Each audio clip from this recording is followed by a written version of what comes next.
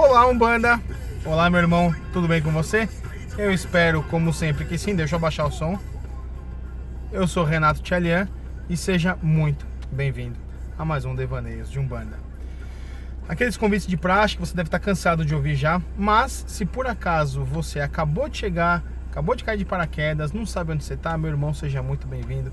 Você está num canal de Umbanda e religiosidade. Uh, eu te peço uma chance, se inscreve no canal, dá essa força para mim, por favor.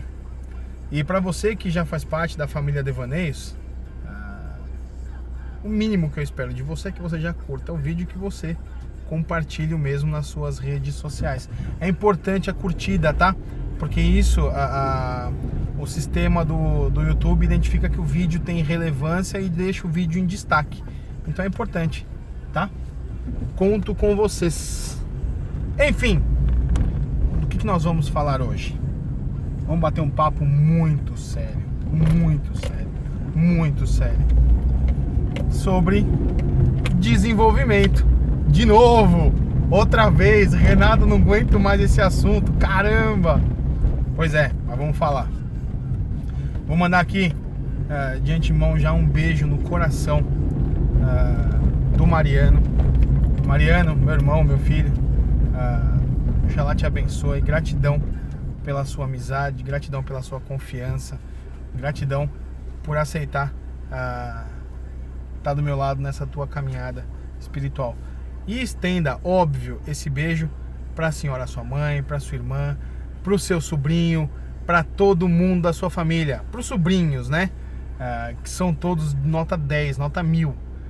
Enfim, vamos lá. Uh, eu já vou começar falando que eu vou deixar na descrição desse vídeo o link para todos os vídeos de desenvolvimento que eu já fiz e já falei. Tá? Eu acho que um complementa o outro, pode ter informações repetidas, mas no final a, a, a, um faz sentido junto ao outro. Tá? Por quê? Eu vou abordar um, um negócio específico hoje que o irmão me perguntou. Uh, ele pediu para eu discorrer um pouquinho sobre a mudança no desenvolvimento quando eu desenvolvo com caboclo, quando eu desenvolvo com preto velho ou com qualquer outra linha. Primeiro, se existe uma diferença e qual é melhor, talvez, não sei. Vamos falar sobre isso, tá? Desenvolvimento mediúnico. Para que que serve o desenvolvimento mediúnico? Na Umbanda para você incorporar para aflorar de vez a tua mediunidade de incorporação, se for o caso, né? Então é através do desenvolvimento mediúnico que os teus canais áuricos, que os teus chakras são expandidos, são abertos, para que você possa receber através deles a luz da entidade que conecta os chakras dela aos teus chakras, formando o acoplamento áurico, e este processo é conhecido como incorporação. Por isso que nós temos uh, um chacoalhar na incorporação e na desincorporação, porque a entidade entra no seu campo áurico, conecta em você uh, os chakras dela nos teus chakras e este processo é uma movimentação energética que dá esse uh, que dá esse chacoalhão, tá? Fácil de entender isso? Beleza. Mas você está desenvolvendo, você está desenvolvendo e você não sabe muito bem o que está acontecendo ainda. Existem diversas formas de desenvolver um médium. Tá? Tem terreiros que desenvolvem seu, os seus filhos ah, tocando os pontos de determinados orixás ou todos, né? E além disso, ah, os médios ficam girando no, no terreiro todo enquanto os pontos são cantados. Existem desenvolvimentos mediúnicos onde o médium fica parado, sentindo a vibração, enfim. Não existe desenvolvimento mais certo, menos certo, certo e errado, isso não existe, tá? Existem diferentes formas de desenvolver e aquela ah, para você que está correta é a que funciona com você. Simples assim, tá? Então, mas vamos falar eh, do médio no momento que ele está sentindo ah, o desenvolver. Tá? Quando você começa, você começa a perceber algumas sensações estranhas e alheias à sua vontade. Tá? Ali é a entidade agindo em você. tá? Então, ah, tem diferença no desenvolvimento de um caboclo para um preto velho e para outras idades? É claro que tem, tá? Porque e também isso é individual, isso não é uma regra, tá? Por exemplo, vou dar o meu exemplo. Eu quando desenvolvendo, quando estava desenvolvendo, eu sentia muito ah, quando cantava para Oxóssi, por exemplo, para os caboclos de Oxóssi.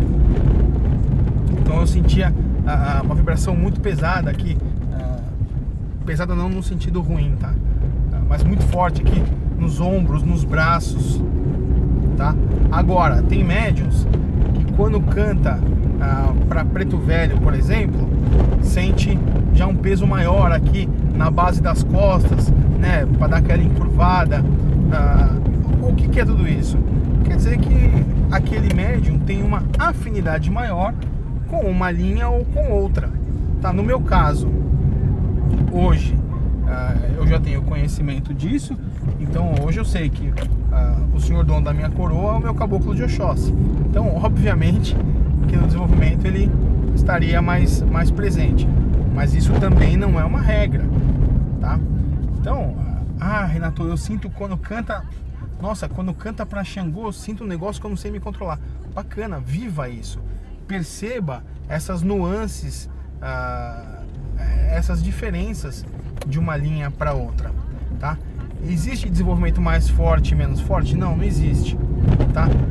O que eu estou querendo dizer aqui é que os desenvolvimentos eles são diferentes, tá? Então, quando canta para um orixá, quando canta para um caboclo, é uma sensação, é uma vibração, né? Porque a, a, o caboclo é, é aquele ser altivo, é aquele ser que quer trabalhar e então ele acaba te dando uma, uma energia diferente, né? E quando desenvolve, por exemplo, com preto velho, é uma outra energia que você sente. Talvez uma calma maior, uma paz maior, alguma coisa, ah, aquela sensação de amor inexplicável, que é muito bom também a gente sentir. Né? Ah, tem terreiros que desenvolvem com outras linhas. Né? Então, ah, hoje vai ter desenvolvimento na linha dos baianos, vai ter desenvolvimento na linha dos marinheiros, vai ter desenvolvimento na linha dos Exus. Tem problema? Não, não tem problema nenhum. O que é importante frisar é que se o teu terreiro não faz desenvolvimento com essas outras linhas, faz só com caboclo preto velho, suponhamos, não tem o menor problema. O menor problema. Isso não vai te atrapalhar no desenvolvimento, isso não vai te atrapalhar quando for para incorporar com outras linhas. É importantíssimo deixar isso claro, porque as pessoas têm muita dúvida nesse sentido. Ah, Renato, meu terreiro não, não desenvolve com Exu, meu terreiro não deve prestar. Não, teu terreiro é perfeito para você. Não é porque não desenvolve na linha dos Exus, não desenvolve ah, a vibração do Orixá Exu, porque não precisa, porque a, a regra da casa é outra, porque a entidade que chefia a casa trabalha de uma outra maneira. Isso não faz da casa melhor ou pior do que nenhuma outra. Cada casa tem sua regra. Tá? Então, não cobre ou não ache que você é melhor ou pior, ou faz mais ou faz menos por conta do desenvolvimento. Se entregue aquilo que é a tua realidade. Ponto. Ok? Ah, Renato, o desenvolvimento da minha casa antes de ser prático é teórico. Pô, a gente só fica lá estudando. Perfeito também, ótimo, maravilhoso. Ah, Renato, na minha casa a gente só desenvolve praticamente, mas a gente uh, na prática, né? Quer dizer, uh, mas ninguém ensina nada. Bom também, ótimo, desenvolva, tenha bastante vivência de terreiro e busque estudo uh, para tentar entender o que está acontecendo ou pergunte para o seu dirigente.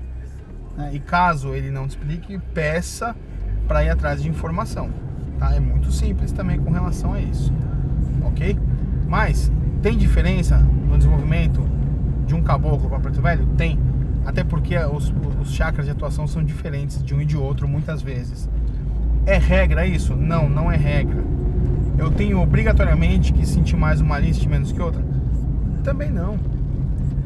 É muito comum que você no desenvolvimento se descubra, porque o desenvolvimento ele serve para isso.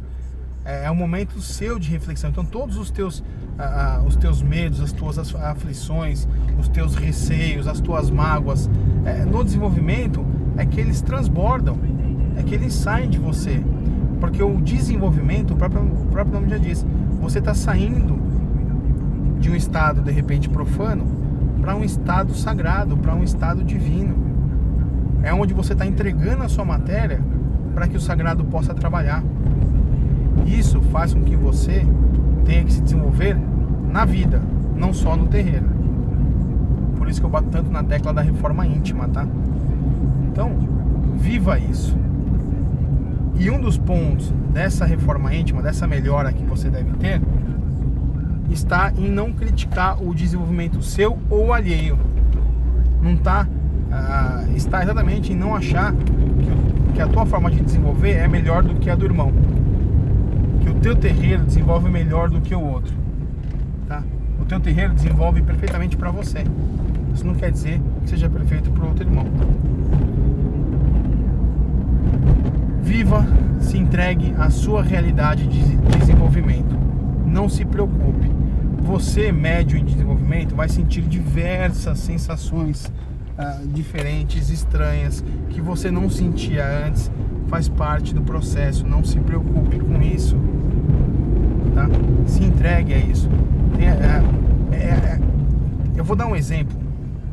Eu vou citar aqui uh, uma situação que foi o que me ajudou muito. Pensa da seguinte forma: o desenvolvimento e o início da incorporação funciona da seguinte forma. Imagina que o teu carro, aqui ó, o teu carro é você e o condutor, que é você também, é o teu espírito. OK? Você está aqui. Você está dirigindo. Então você está conduzindo a sua matéria, você se conhece, você sabe como você trabalha. Perfeito. Aí você começa a desenvolver, começa a incorporar. É a mesma coisa que chegar alguém aqui para você e falar assim: "Ó, oh, posso dirigir teu carro?" Caramba, você vai ficar mal preocupado, você vai falar: "Meu Deus do céu. E agora, o que eu faço?" Mas você deixa. Mas aí você vai pro banco do passageiro você passa a viagem inteira preocupado. Meu Deus, e agora? Tem que virar para direita, tem que virar para esquerda, tem que ir reto, tem que frear. Meu Deus, será que ele sabe dirigir? Só que aí, você, com o passar do tempo, você começa a ver que essa pessoa que você deixa dirigir o seu carro, você começa a perceber que essa pessoa sabe dirigir melhor do que você. Você começa a perceber que não só isso, você começa a perceber que quando, quando essa pessoa que pegou o teu carro para dirigir te devolve o carro, ele lavou o carro, trocou o óleo, calibrou os pneus, encheu o tanque, ele te entrega o carro melhor do que o que ele encontrou. Com isso, você começa a fazer o quê? Chega na hora, essa pessoa vem falar: Posso dirigir seu carro? Você fala: Pode, pega aqui. Você vai pro banco do passageiro, você até tira uns cochilos, você não tá mais nem ligando, você confia plenamente na direção de quem assumiu. É assim a incorporação. Chega o teu caboclo, a tua cabocla, o teu preto velho. Posso dirigir o teu aparelho? No começo é aquela preocupação toda. Depois você fala, pode, fica à vontade. Repia aí, toma conta, vai para cima. É exatamente assim que funciona o desenvolvimento. É assim que funciona a incorporação. Vê que legal que é? E é importante frisar. Ele sempre vai deixar você melhor do que o que ele encontrou. Sempre, sem exceção. Sem exceção. Tá? Por isso que eu não concordo. Claro, em desenvolvimento você pode ter ainda as incertezas da, do desenvolvimento, mas para o médio desenvolvido é inaceitável ele desincorporar e tá mal. Tá? Eu posso ser extremista nisso, mas é a minha opinião. Tá? Então, deu para entender, meu irmão, como é que funciona uh, o desenvolvimento?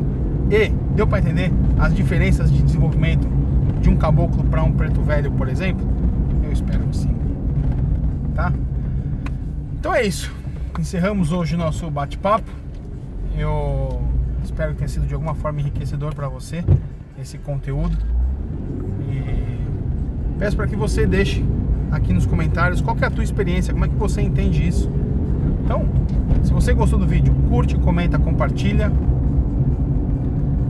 Como levar informação rica, espero, de Umbanda a quem não tem essa mesma informação. Conto com vocês, família de Bandeiros. É isso. Minha gratidão, meu axé, meu saravá e um grande, um grande, um grande, um grande abraço